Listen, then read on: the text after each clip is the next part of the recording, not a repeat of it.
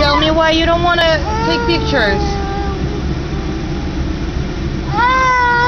Okay, no pictures, fine. Why? You have boogers in your nose.